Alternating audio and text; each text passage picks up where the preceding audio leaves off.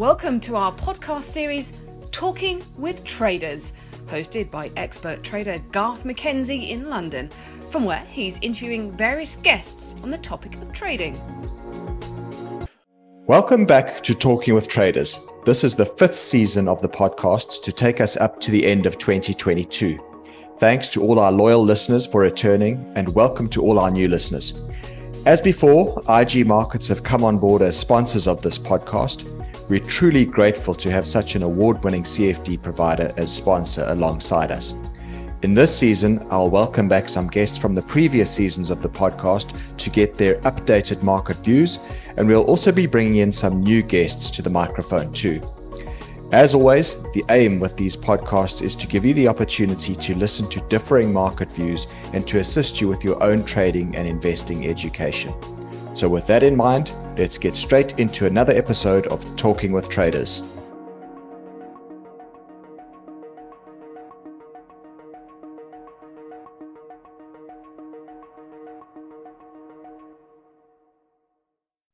Welcome to another episode of Talking with Traders. And uh, this time I'm delighted to uh, invite a new guest onto the podcast. His name is Mark Perchtold, or Perch, as you're more uh, commonly known in the industry.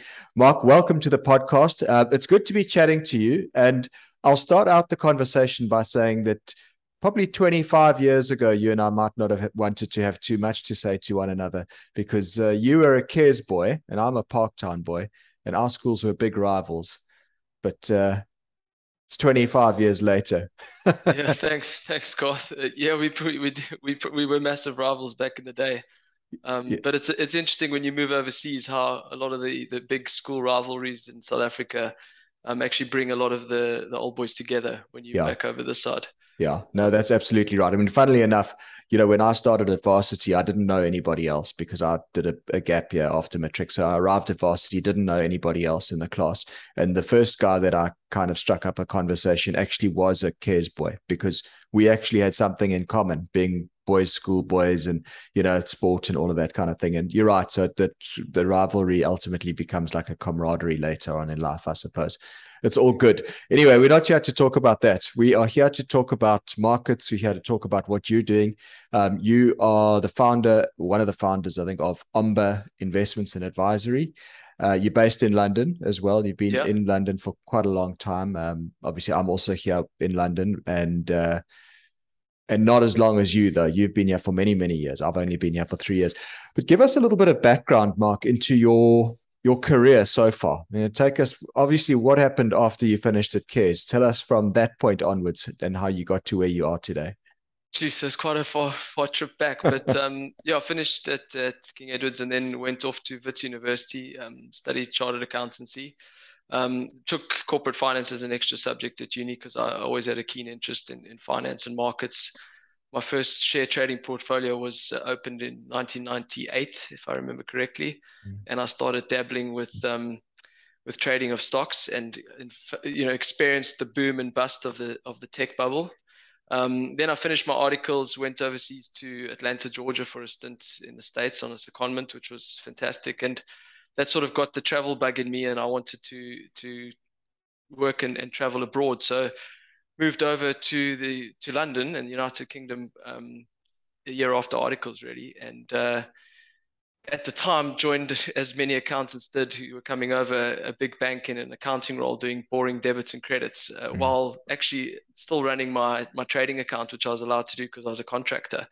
And um, the bank I worked for was Goldman Sachs, and and then there was a role as a financial analyst on on one of the desks in the investment management division, and um, the role included a lot of you know talking about markets to clients, you know, presenting ideas to them from a brokerage point of view, and also running some of the portfolios that that we dealt with. So it was a real pivot from debits and credits into what I really enjoyed, which was financial markets. So unfortunately, and actually going back to that time, I, I think I still had my my BOE account open and dealt with your desk um, in South Africa. That's, that's how far right. back we go. Yes, and, that's right. Uh, yeah, yeah. I remember dealing with you as a client of ours when I was running the desk at BOE. I didn't have much money in my account. It was a, I was a very small client, but I, I enjoyed it. I think at the, at the time of arriving in the UK, I only had five thousand pounds to my name in, in liquid assets. So it was it was pretty small, but you know it's obviously been a, a long journey in investing in, in markets. But um, yeah, I spent 12 years at Goldman Sachs Investment Management Division, um, dealing a lot actually with South African clients. So traveled back to South Africa at least 10 times a year in some years. So I haven't sh- been able to shake my Joburg accent. I've, I've been here 18 years, but, but can't, can't shake it. And, you know, during my time at Goldman, obviously saw a lot of different things from, from the sort of traditional asset classes like equities and fixed income to all the derivatives thereon, um, you know, private equity, hedge funds, you know, real estate, liquid and illiquid assets and got a really good overview of what it's what the landscape for in, investors looks like in, in, international markets. But one of the things that I'd, I'd noticed was growing and, and, continued to boom was was the growth of ETFs. Hmm. And so we had been building multi-asset portfolios for clients, but most of those would have been populated with either securities directly, so, so shares and bonds, or funds managed by professionals, either in-house product or third-party product, or structured products coming out of the securities division of the of of the, of the bank, um, and various other things. But very few of those portfolios embraced ETFs. And one of the things I really liked about ETFs was they were liquid. You know, you could trade them intraday. They were inherently diversified by number of securities they're in, and you could actually express a lot of you know multi-asset views or, or country or sector views using ETFs at the time, and and obviously that's evolved further now with the likes of th- thematic and smart beta. Yeah. So I set up OMBA in in 2017 with uh, David Pearson, who I knew from Wits University. He he studied information systems. Um, and he had been working in financial services in London for many years in big tech integrations and, and rollouts and sort of a lot of middle and back office tech related work and had complementary skills to me, having been more on the investing side and and client facing side of things. So had a you know very complementary skill set. We decided that we wanted to build a, a, firm that was differentiated in, in the use of ETFs. And you know, how can you be an active manager but use a passive tool set? And so we thought there were very few people doing it at the time who weren't tied to a big house. So you had, you know, ETF solutions from BlackRock and Vanguard and the like, but that would only be their own product. Yeah. Very few were using any of the product out there. And so we got going in, in Jan 17 and, you know, fast forward just over five and a half years now and we're, we're up and running. Yeah, well, that's great. What a, what a great story.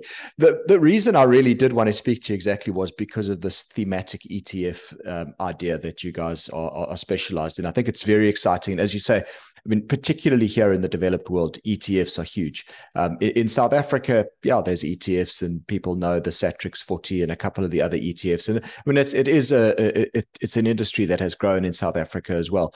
But um, but in terms of the global markets, I mean, it's incredible the amount of themes that you can get. You know, I, I also follow a lot of ETFs. I look at things like the, there's cannabis ETFs, there's natural gas, there's wheat, there's corn, there's you know um, things like ARK, the Cathie Wood funds.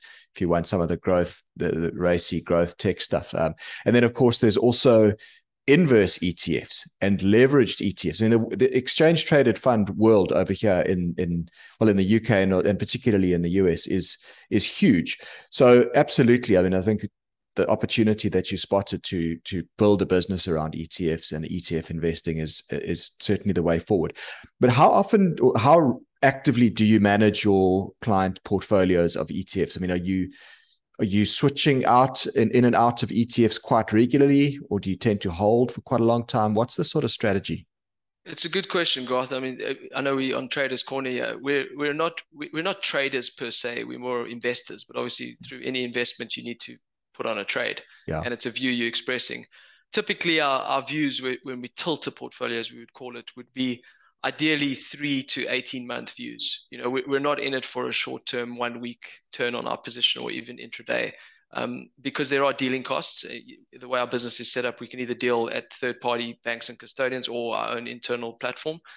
And so, you know, there's there are costs to trade. So we're not in and out in, in that sense. So we probably in any given year would express somewhere between, let's just say within equities, maybe six to 10 ideas and yeah. within fixed income maybe three to five and, I, and i'm averaging here in a mm. in a year like the covid year and a, a, year like this year there might be more uh, turnover and, and, and changes within a portfolio only because there are different opportunities that present themselves and markets are swinging swinging more wildly so hist- you know historically as you as you correctly touched on there you know you had country and and and regional ETFs available to investors and and then within developed markets you have sectoral ETFs thematics are not actually that new. Many have been around for 10 plus years and, and some of them have got 10 year plus track records so some of the sort of clean energy and decarbonization related ETFs yeah. they've been around for a very long time you can you can put together sort of a mega trend and say okay aging populations is a theme you know if you invest in in that theme or that mega trend you could use a traditional healthcare ETF to express a view because there's a demand for healthcare as people get older, for example. So mm. the the growth in thematics has allowed one to express a bit of a nuanced view on a on a particular theme. So if you wanted more exposure to cybersecurity because you're worried about the Russia-Ukraine invasion and therefore demand for more cyber protection, you could express a very specific view. Um, you, have got a, a swathe of, of ETFs in the sort of clean energy space. You know, there are tens, if not hundreds, available across mm. different parts of that. You know, whether you're looking at the battery value chain, or you're looking at wind and solar, or you know, desalination. So thematics have absolutely boomed, and that's just increased our tool set in a way because there are over 8,000 ETFs in the world now, yeah. and the wow. fastest growing in terms of new issues is thematics part of that is is because of you know I think a lot of the industry have realized ETFs are a low cost and fantastic tool to express a, a, view in markets, and they've cannibalized a lot of the margin from from traditional long only managers, and so product houses have said, well, let's try earn some margin. Let's put together some interesting baskets of uh, stocks that track an index, which we can often create ourselves. Yeah. And now you've also got active ETFs, which is another evolution. Yeah. And and charge a higher fee on that ETF. But mm. there's a lot of work that goes into understanding what's under the hood. And so we've built some technology internally using Python to really look at every single underlying holding within the ETFs, various financial metrics that a traditional investor would look at relating to those underlying companies, and aggregate it, look at how it contributes to the VAR or to the vol or to max potential drawdown on a portfolio or position level, and then really understand is this what we want to add to a portfolio? Is this trade right? Is this trade giving us that purity of expression that we really want? Mm-hmm. Because some of the thematics are actually just a headline sexy theme, but actually when you look underneath, they're not they're not pure in their mm-hmm. expression. And one example would be cyber. Actually, one of the ETFs we looked at, it held the top two holdings were Accenture and Cisco.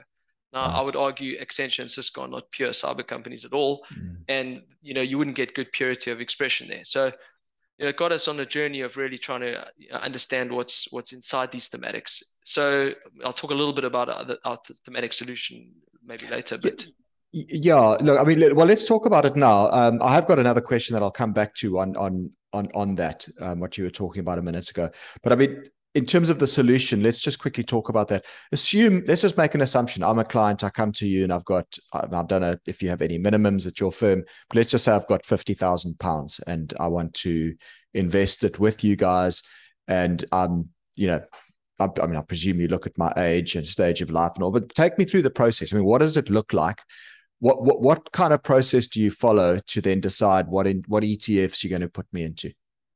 So we we on our segregated account business, our minimums are pretty high. They're actually a million pounds, a million euros, a million dollars, and upwards. Okay. And we'll run a segregated account. And the, the journey there is that the clients onboard directly with us. Right. We get to know them. We do a suitability and appropriateness assessment as is required by the regulators. We really get to understand the client's ability and willingness to take risk. Mm-hmm. And they may be in a dollar portfolio, a euro portfolio, or pound portfolio. Um, and the bonds would, the investment grade bonds would typically match the base currency. Mm-hmm. Um, high yield and, and EM bonds would not necessarily match the base currency. And then equity, our equity view is a view across every single portfolio we have. Um, and that would be for a segregated account client. But what happened and sort of the evolution of our business was that a lot of people, friends, family, etc., said, you know, Mark, I like what you guys are doing. This is great. I like ETFs. I've read about them. I don't know where to start. They're 8,000. I want to put a portfolio together can I invest with you? And the answer was, well, sorry, for 50 grand, you can't because our minimum is much higher. Mm. So we unitized our, our, our dollar moderate risk strategy, which is a flexible strategy where we can go as low as 30% equity and as high as 70. And we unitized it in an Irish UCITS fund.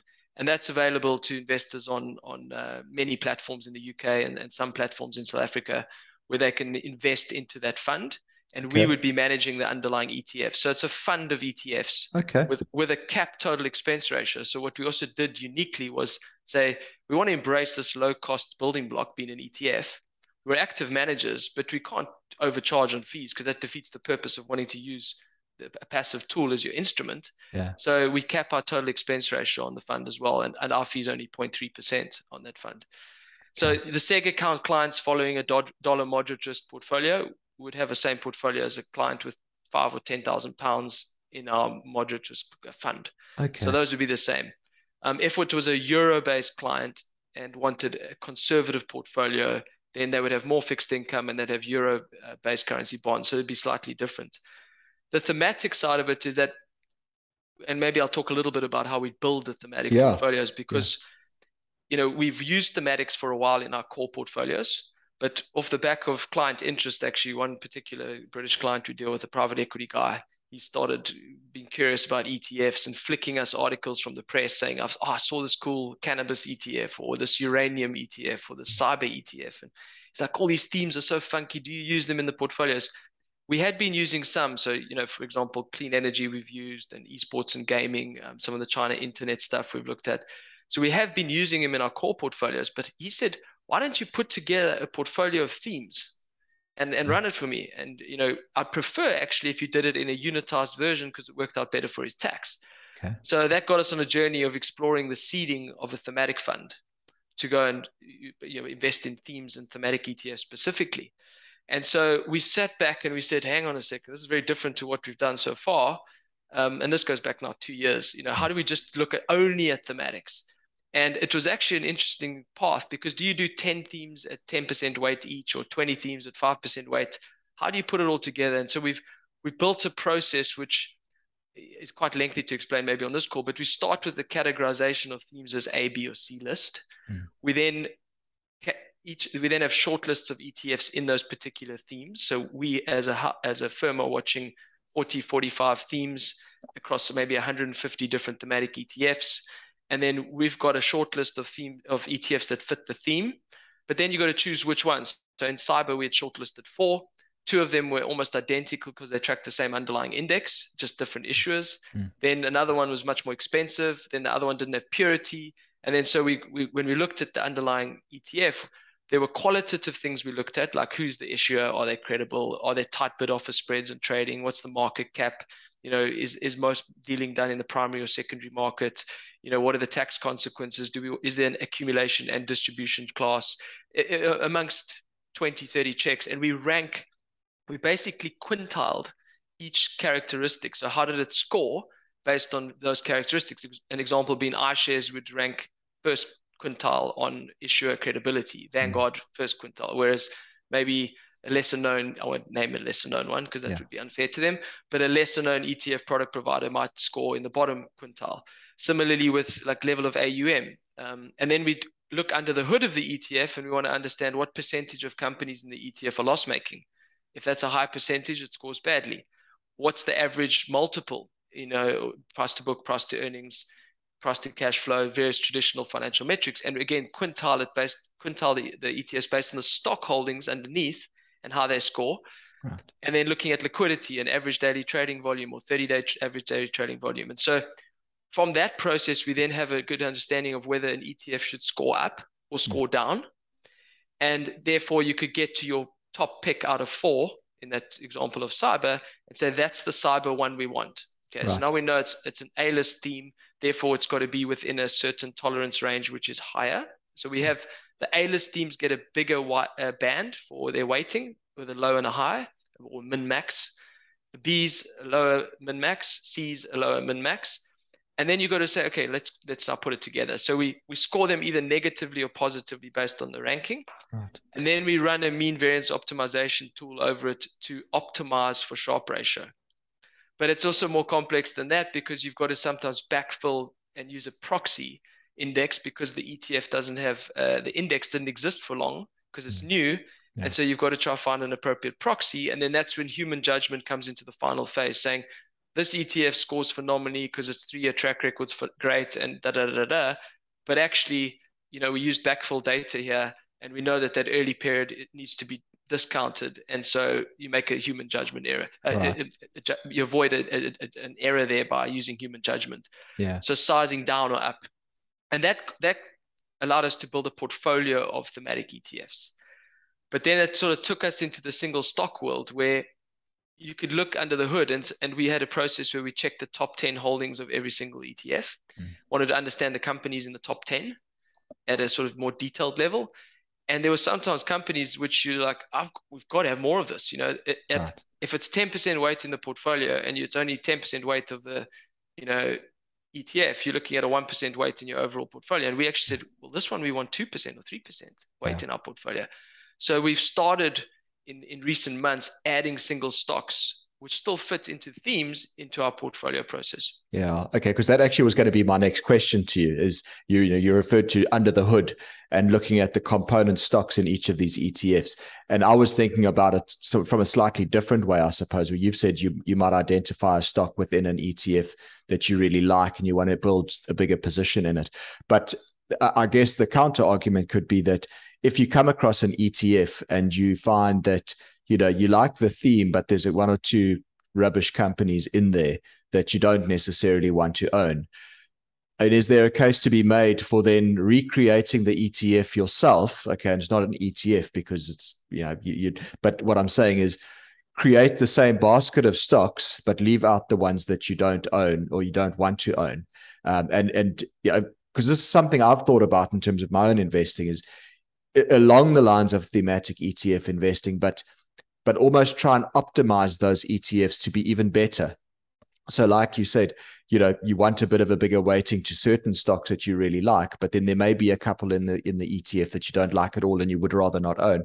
Can you then create your own ETF or your own basket, which essentially gives you the ability to optimize or even uh, some sort of an outperformance of the actual ETF that you're tracking?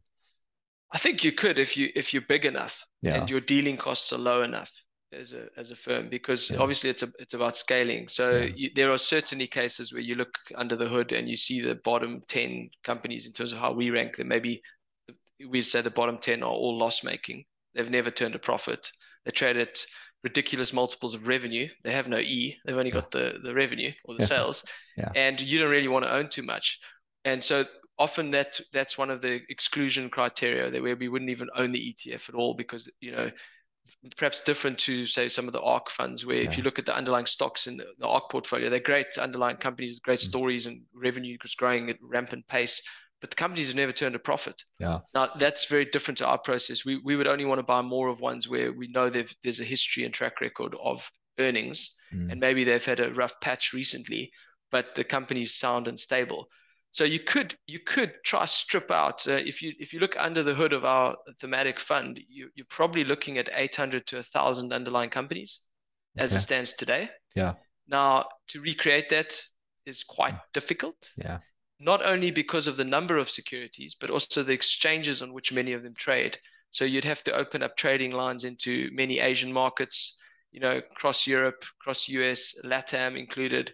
Whereas the ETF issuers and and the, you know the authorized participants that create and redeem units and the, the liquidity providers that allow for trading in these ETFs, they've already got all that market infrastructure in place. And so it's often just much easier to buy the ETF, Yeah. which is one of the reasons they charge a fee, which Sure. is why you'll find some emerging market or obscure market ETFs are much more expensive than your traditional S&P 500 or FTSE 100, etc Mm. because it's the cost of setting up your market infrastructure. And Yeah. so it's it's theoretically possible. Yeah. But I don't think you want to go down that route unless you've got I don't know half a billion, a billion Yeah. dollars or pounds therein, and you're able to open up trading lines into all those markets. Right. But we use it more as an exclusion uh, process than an inclusion process, where we rather upsize our weights. Yeah. And if if we don't want that ETF, we'll just exclude it completely. Yes. Okay. All right. Very interesting. Now, of course, I I mentioned it earlier on in the in the podcast, but uh, with the the ETF world taking off as as it has, you've also got uh, like derivatives of the ETFs. In other words, you've got you know short ETFs, right? So you can you can buy ETFs that do the opposite to whatever the asset is. You can buy like an inverse S and P 500 ETF, and there are lots of these kind of things. And then you get these these um, leveraged ones as well, where you can get two times or three times gearing on uh, on on the under in, underlying index, both on the upside or the downside, depending on how you want to play it. Do you take it? Do you make use of any of that sort of more fancy stuff, like the short ETFs or the inverse ETFs, or, or, or any of the leveraged ones? No, we don't. So, so all our ETFs are, are, currently physically backed. Although eh, there's actually nothing wrong with synthetic ETFs these days. Yeah. They're very well capitalized and, and collateralized, I should say, in terms yeah. of the collateral held against those assets. Um, and and that's a very conscious decision. We we don't we don't have permission from our clients to to short, and, and our funds aren't permitted to short. Okay. And furthermore, you know the you know the leveraged ones are volatile, yeah. extremely volatile. So it adds a lot of vol to the portfolio. Yeah. But having said that, I, you know, I have dabbled in, in, in my prior life, you know, my personal capacity, where I did invest in in the leveraged ones, but those were often with a much shorter sort of trading view. Mm. So if on Friday, for example, you took a view that next week the market was going to bounce, as it's done now, yeah. you might have put on a three times levered upside, you know, participation ETF and yeah. happy days. Yeah. You would have done well um, and then you could close your position. But over time, the, the costs embedded in those products often hurt you. Yeah. Even if markets are trending up, you, you don't necessarily get if you have starting point A and, and ending point B, and you've got a you draw a straight line of what your theoretical return should have been between those. Yeah. You do not get three times your let's say it was up 10%, you don't get three times 10% equals 30 mm. because of all the embedded costs on the daily trading within the within yeah. the ETF themselves and the cost of the, the funding, funding. within the ETF. Yeah. Yeah. That's what I've noticed when I've when I've done a bit of back testing on some of those leveraged ETFs as well, is that there's a lot of they're actually very expensive to trade. Um, exactly and there's also as you said the funding or the time decay element of it's not really time decay because that's not the right term it's the funding element um, which definitely eats into the the performance. So but, exactly but short term for traders uh, absolutely a useful yeah. tool. Well that's it. For a short term tool i guess it's great. And i mean when i look at some of those um, leveraged etfs and the volumes that those those things trade in are huge in some cases like tens of millions of shares a day in in some of those like the leveraged S&P 500 ETFs for example so it's clearly a very very popular trading product but as you say I mean not for the type of strategy you guys are trying to employ and, um, and I um, guess as you'll know you know maybe better than me there are different ways to trade a market if you want to express a long S&P 500 view you mm. can use a, a, levered ETF or you can yeah. also use you know futures or CFDs yeah. or, or, other yeah. solutions which maybe give you more leverage yeah. and super liquid and you can maybe express a several hour view. You know, you yes. trade on the open and you exit three hours later. Yeah. I would argue maybe an ETF is not the optimal way to do that. Mm. So it mm. depends mm. on your trading lines and, and sure. Yeah. Yeah, absolutely. There's many, many different products to achieve a, a similar thing. And what about options? Because again, uh, with the evolution of ETFs and the fact that lots of them are very liquid, I mean, there's now also quite an active options market around a lot of ETFs. And I know I trade some of those options my, myself. I mean, do you get involved with that? Do you where you create hedges or structures around some of your portfolios using options? Well, we're actually looking at potentially uh, developing a new product which will include the use of options in, within a fund format, quasi hedge fund like, um, yeah. where you you're writing options to take in premium or you're selling covered calls to to take profit or enhance income. Um, but the, the, the great thing about the evolution of ETF options is that you know a lot of them are physically settled. So you, you physically settle into the ETF. So I use them with my own money, and we actually have a, a, couple options advisory mandates where clients pay us a retainer to advise them on their their options. So okay. they will be trading away from us with their own brokers and banks, etc. Yeah. But they look to us for some guidance on what tenors and strikes and moneyness and all the rest of it to, to look at. And the the nice thing about the ETF options is that instead of having to cash settle on maturity if you're out of the money, mm. you're physically settled, yeah. um, and you're you're now potentially long a position. So I you know I've used them myself quite a bit to to write options on large underlying indices, you know, where or ETFs like S&P 500 or you yeah. know, the SMI or the DAX or whatever. I'm just saying, sometimes I've used these these um, ETF options to to write you know cash covered options on on underliers where I'm happy to go long that underlie at a certain future point. Right. And instead of being cash settled, I'll be physically settled into the underlying ETF. Right. And I'm now long an ETF at a at a level I'm happy to to go long. Uh, almost like I always think of it psychologically as like it's a limit order to buy. Yeah. But I'm being paid to wait. Yes. So as you get your time decay on the option premium, you're getting paid to wait for your limit to be hit. Yeah. instead of just putting in a limit and not getting paid. Yeah. So Yeah. it's, it's philosophically, I've always loved cash covered put writing. Yeah. Um, and the, the nice thing about the evolution of ETF options is now you go along that underlier, Yes. and and then you've got a physically a physical ETF, and and you could do it on many big indices now. You know, S and P 500, the DAX, the, Yeah. the, the SMI in Switzerland, the FTSE 100, etc. Right. Yeah. Yeah. Okay. All right. And as we draw towards the, I don't know, the final sort of quarter of this interview, I suppose, let's talk a little bit about the market environment currently. Um, and we're recording this it's the 4th of October, 2022, for anyone who watches this at a later date.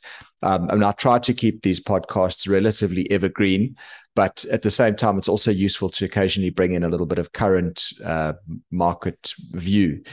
When we've seen the S&P 500 has just been down. It's tested the June low again. It's bouncing right now as we speak.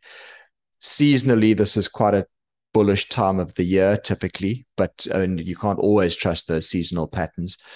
But how do you look at it at this point in time? I mean, are you seeing value in the market? Are you a buyer? Are you cautious? What what are you seeing? God, I like the way you quoted the date. So you could always go, you said the following, and then look what happened.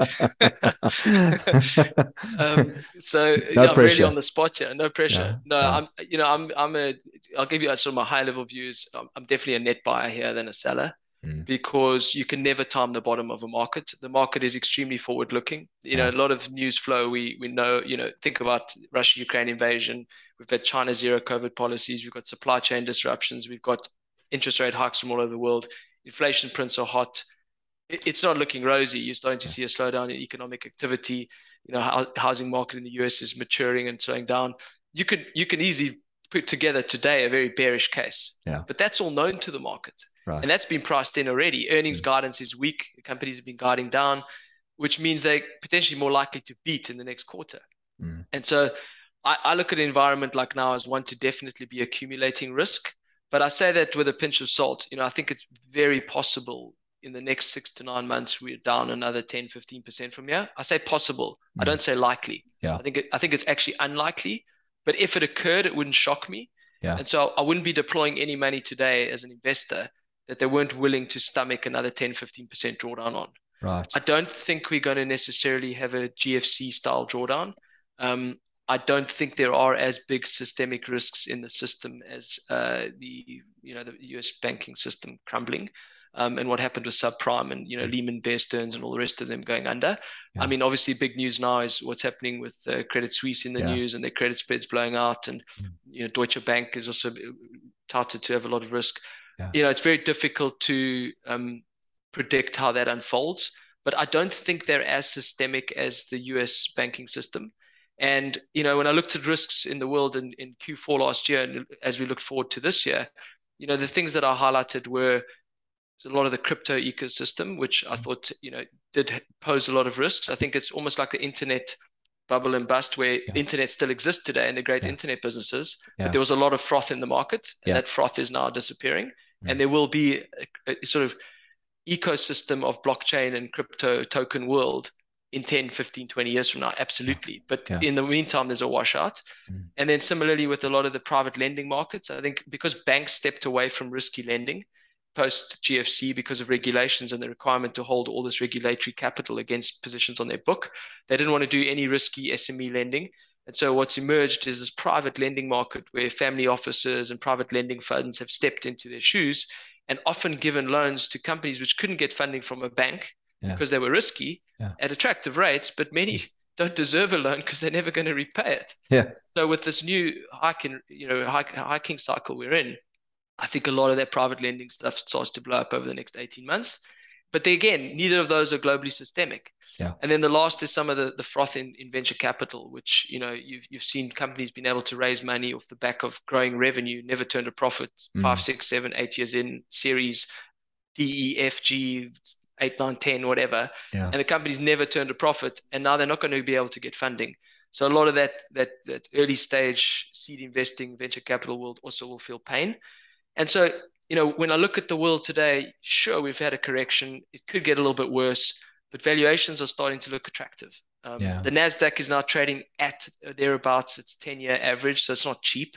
Mm. Um, you know, the S&P 500 has just dipped into cheapness versus its 10-year average multiples, but many other markets are trading at meaningful discounts to their, their long-term 10-year average. And timing the bottom is impossible. So, you know, I'd, I'd say economically we're, we're likely to see inflation abate. Um, you, you know, inflation prints, you've got the base effects, obviously, but the yeah. trigger of this big inflation spike has been you know, zero COVID policies from China, supply chain bottlenecks, Russia-Ukraine invasion, causing a knock on onto commodity prices and energy prices. Mm. A little bit of wage inflation inputs, which is is one worry, I guess, wage wage inflation spiral. But the three former points I raised, they, they'll all be, you know, and obviously a lot of money supply driving consumers to spend more, which yeah. has now been drained. Yeah. You know, if you think about it, those are all starting to reverse and supply demand balances in commodities and energy will rectify themselves within, you know, a year or so already starting to see that's the case because you know if supply doesn't come online demand's going to drop absolutely because yeah. people pay that much for energy. Yeah. And so inflation abates. You've had earnings being guided down by companies and suddenly central banks turn a little bit dovish because we're in a, a deeper recession and the market rips. Yeah. So if anything i think if you if your horizon is is north of you know three years you're going to look back and say i wish i bought more during the dip. Yeah so that's our that's sort of a higher level view. It's a very convincing view, I must say. So. All right, Mark. It's it's great. That's been great. It's been excellent chatting to you. And just a final wrap up, really, is um, how do how can listeners or viewers of this podcast get in touch with you? Because you've really actually made a, a very good impression, I think, uh, in terms of the way you look at markets, the thematic ETFs, and the products that you've got are very interesting and quite unique. I think there's probably a lot of listeners out there who might be interested in wanting to invest with your firm. So how, how do they get in touch with you? Thanks, Garth. I mean, that's very kind of you. I mean, the, the simplest way is to go to our website and just it's ombainvestments.com. And uh, through various tabs on the website, you can either contact us and, and then some, one of the team will, will get in touch with you and, and try help you out. Or you could potentially invest directly with um, into the funds that we have in Ireland, which are all Irish UCITS, um, or check on the platform you use whether any of our funds are available to you if you're interested in investing in those. Um, we're not on all the all the all the platforms in the UK and South Africa, but we're on a few. So okay. there, there is possibility, but probably a good source is, is the website to begin with. Yeah. Okay. So ombainvestments.com is yeah. the is O-M-B-A. the easy omba investments.com. There we go. All right.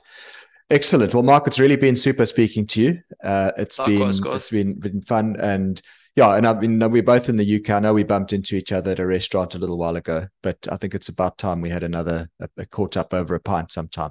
sounds like a plan. All right. You take cool, care, Mark. Thanks yeah, very much. Thanks a lot. Cheers. Cheers. Bye. Bye. You're listening to Talking with Traders, a podcast series brought to you by IG, a world leading online trading and investment provider. If you haven't checked out the IG online trading platform, please do so and visit IG.com. Also, make sure you subscribe to the podcast series on your favorite podcast app or website by clicking on the subscribe button, and you'll be notified weekly as we release new episodes. Thanks for joining us for today's episode of Talking with Traders, brought to you by IG, a world leading CFD provider. We really are privileged to have such a leader in the field of online trading involved in this series. Please follow us on Facebook and engage with us there. And a reminder to make sure you subscribe to this series by clicking on the subscribe button on your favorite podcast app. If you've enjoyed this podcast, we'd also appreciate if you'd leave a review on the app too. Till next time.